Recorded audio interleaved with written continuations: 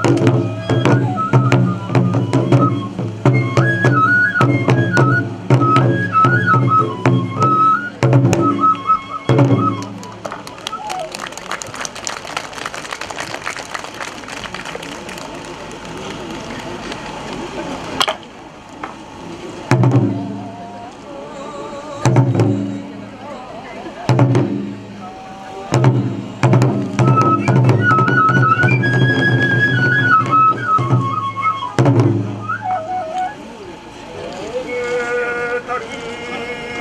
道具たり。